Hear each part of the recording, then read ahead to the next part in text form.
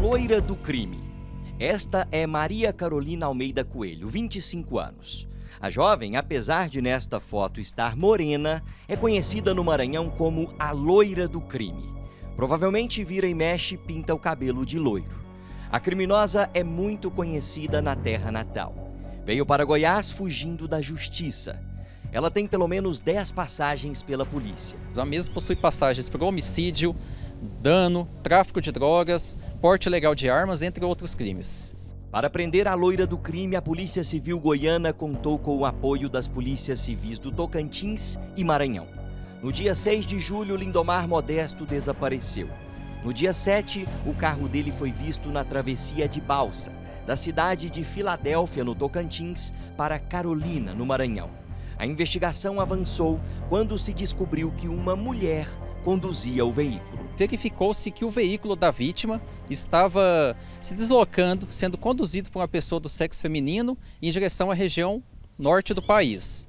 A partir daí, passado alguns dias, o veículo foi abandonado e localizado na cidade de Carolina, no Maranhão, sendo o mesmo isolado, realizado uma perícia e obtido alguns elementos de informações, dando continuidade aqui em Aparecida, realizamos várias investigações de diligências, localizamos onde o corpo da vítima estava enterrado.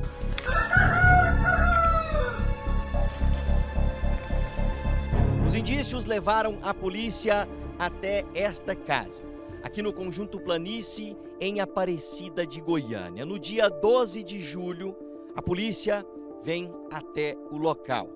Como vocês podem ver, é uma área bem afastada. Do lado de lá, essa área sem uso, baldia, só tem setores para lá e a gente pode ver que tem várias matas. Aqui é um local bem, bem afastado, olha lá. Do lado de lá, aqui, ó, aqui pega uma rua sem ser de asfalto, uma área pública abandonada, baldia, onde muitas pessoas às vezes até depositam lixo, olha aqui o resto de algum móvel queimado. Enfim, é uma área muito afastada. A polícia desconfiava que esta casa aqui, este imóvel, era o último local visitado por Lindomar Modesto. Ele estaria talvez em um relacionamento com uma mulher chamada Maria Carolina Almeida Coelho, 25 anos. Maria Carolina, uma velha conhecida da polícia no estado do Maranhão, desde quando era menor de idade. Várias passagens. Depois ficou maior e continuou a delinquir, continuou a cometer crimes. Neste local, ela moraria. Uma casa alugada há cerca de três meses. Aqui, Lindomar Modesto teria chegado pela última vez. Quando ele desapareceu, teria saído para trabalhar e aí a família perdeu o contato com ele ali no meio da tarde, por volta das quatro e meia. Ele, muito conhecido aqui em Aparecida de Goiânia. Todos os indícios levavam a este imóvel. A polícia consegue chegar ao local. O local que inclusive já está sendo ocupado por outros moradores. Douglas Felipe vai vir aqui comigo, nós vamos vir pelo fundo, por essa rua de terra, para a gente ter uma melhor noção disso aqui. Inclusive, aqui nessa região, em vários locais, pichações com siglas de facções criminosas. Aí você vê aqui também. E a gente consegue ver que é um imóvel grande, a construção é na frente e na parte de trás, como muitas casas aqui em Goiás, o quintal. Ali a gente vê o pé de manga. E bem perto desse pé de manga a polícia, ao adentrar a casa, encontra ali uma terra mexida, parecendo ser talvez até uma cova rasa. E era nesse local, como mostram as imagens, que estava enterrado um corpo, a mais ou menos um metro e meio do solo, um buraco de mais ou menos um metro e meio.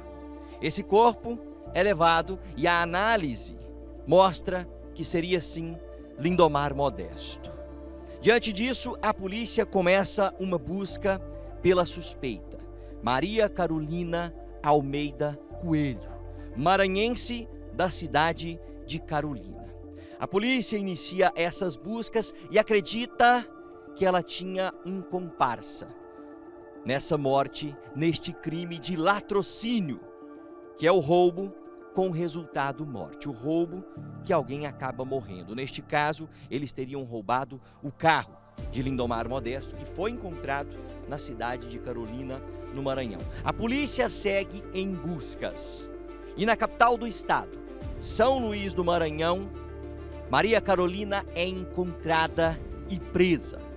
A polícia do Maranhão disse que ela teria falado em depoimento que Lindomar teria, eles estariam ali bebendo aqui neste local naquela tarde quando ele desapareceu e que aí o companheiro dela, o comparsa dela teria saído para comprar mais cerveja e Lindomar teria tentado chegar perto dela ali, teria tentado, segundo ela, abusar dela, mas esse papo não colou nem com a polícia do Maranhão, nem com a polícia do estado de Goiás. Acredita-se sim que ela, Maria Carolina Almeida Coelho, 25 anos, e o comparsa que aparece na foto e é procurado pela polícia, que eles teriam matado Lindomar com o intuito de roubar o carro dele.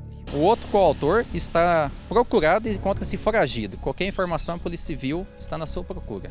Lindomar era muito querido em Aparecida. Lindomar foi amigo meu de infância, né? Estudamos junto, muito bom, muito honesto. A família está extremamente abalada. Ele tinha dois filhos. Ele sempre foi muito amável, gostava de, de abraçar, né, de, de estar perto. Meu pai está fazendo muita falta. Ele é um grande homem, trabalhador, professor, tanto em colégio, tanto para a vida. Amo muito meu pai. Lindomar não estava mais casado, mas tinha boa relação com a ex-mulher. É uma pessoa carinhosa, carismática, é uma pessoa comunicativa, não tinha pessoas estranhas para ele, porque ele sabia é, entrar e sair de qualquer lugar. Ele era uma pessoa, um pai exemplar. A loira do crime, Maria Carolina Almeida Coelho, vai responder por mais este ato criminoso, por ter tentado matar Lindomar Modesto para roubar. Foi obtida a informação que o mesmo, um dia antes, havia guardado no interior do veículo uma quantia significativa de dinheiro em espécie, conforme declaração de testemunha.